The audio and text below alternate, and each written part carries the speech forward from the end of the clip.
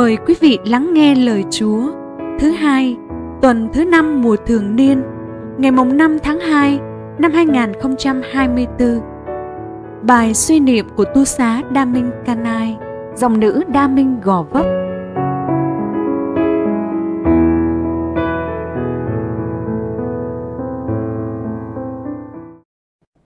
Tin mừng theo Thánh Marco chương 6 Khi qua biển rồi, Đức Giêsu và các môn đệ ghé vào đất liền tại Gennesaret và lên bờ.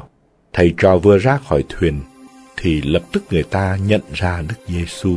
Họ rào khắp vùng ấy và nghe tin người ở đâu thì bắt đầu cáng bệnh nhân đến đó. Người đi tới đâu, vào làng mạc, thành thị hay thôn xóm nào, người ta cũng đặt kẻ ốm đau ở ngoài đường, ngoài chợ và xin người cho họ ít là được chạm đến tua áo choàng của người, và bất cứ ai chạm đến thì đều được khỏi.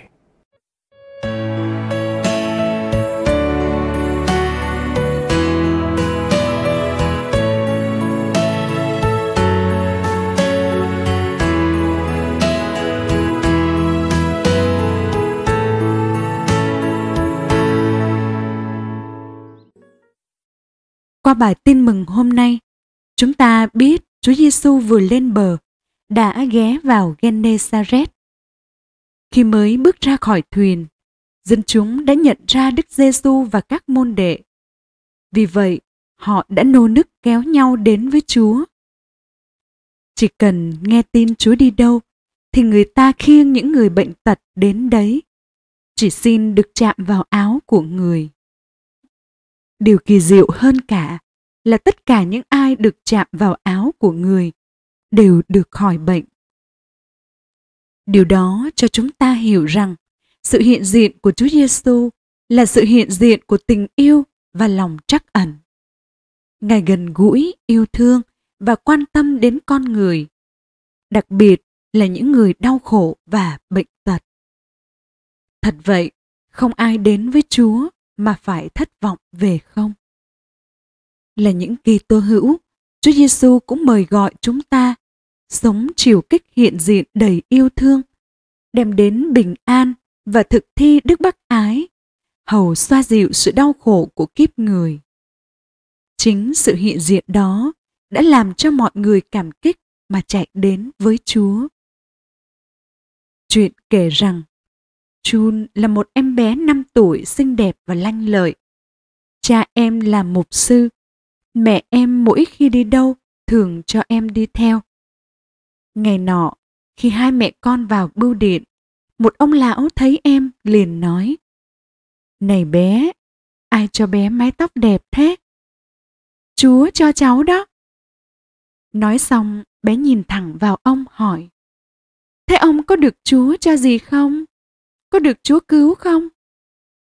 Ông già kinh ngạc và xúc động trước câu hỏi đơn sơ đó. Ông thẫn thờ đáp. Um, không bé ạ. À. Thế thì ông phải đến với Chúa ngay đi, rồi Chúa sẽ cho ông thành một người thật đẹp đẽ. Nói xong, bé vội chạy theo mẹ.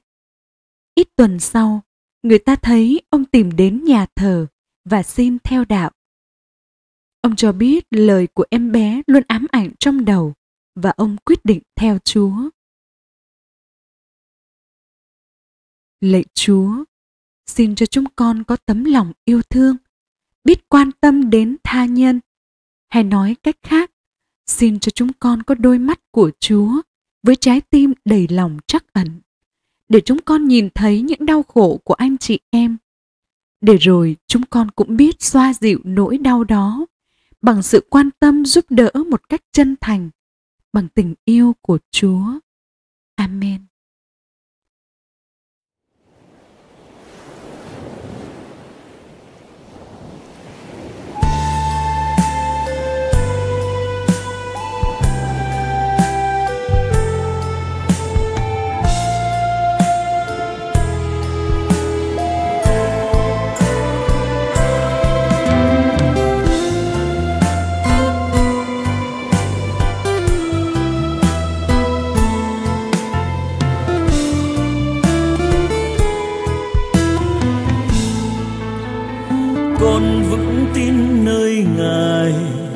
Là thành lũy vững chắc chờ che.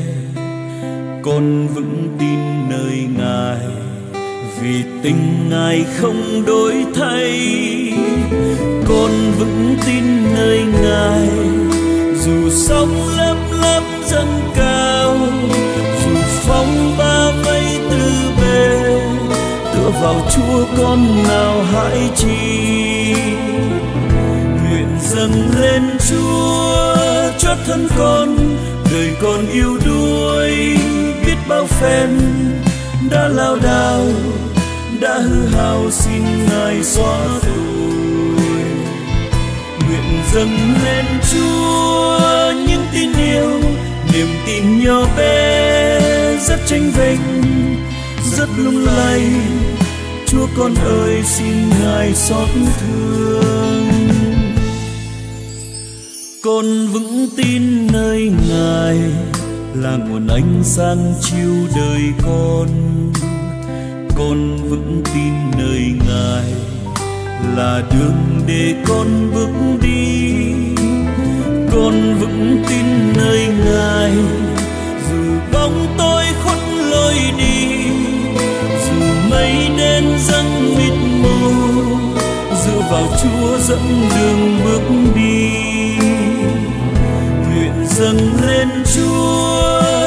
cho con đời con yêu đuối. Biết bao phen đã lao đao, đã hư hao xin ngài xóa rồi nguyện dâng lên chúa những tin yêu, niềm tin nhỏ bé rất tranh vinh rất lung lay. Chúa con ơi, xin ngài xót thương.